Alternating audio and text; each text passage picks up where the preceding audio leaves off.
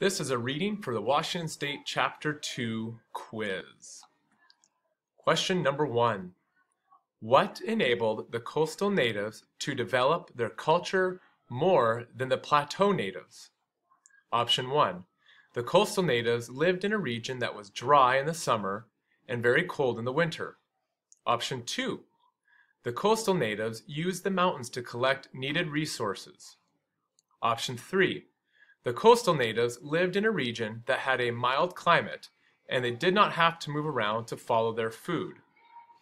Option 4. The coastal natives had to move a lot to follow their food. Second question. How did trade affect the different native groups in Washington state? Option 1. Trade pushed the different tribes to meet in places like the Dalles. Option 2. Through trade, germs, diseases were passed from one tribe to another. Option 3.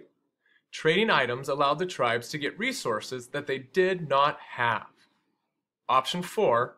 All of the above. Question 3.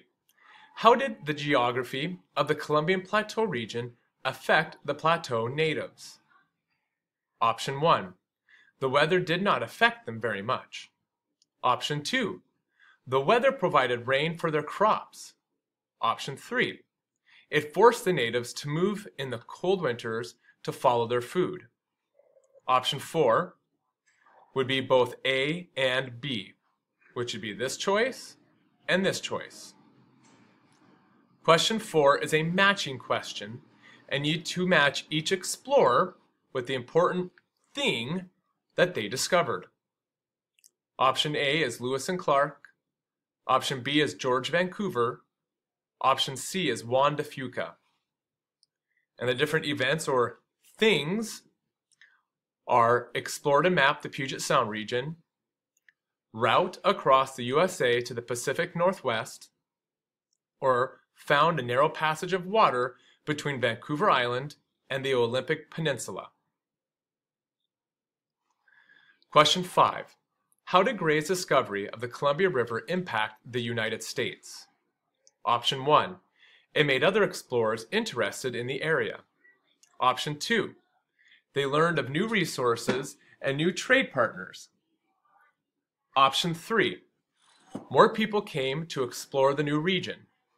Option 4. All of the above. Question 6. How did the fur trade affect life in the Oregon country? Option 1.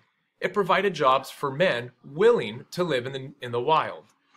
Option 2. It brought some species of animals almost to extinction. Option 3.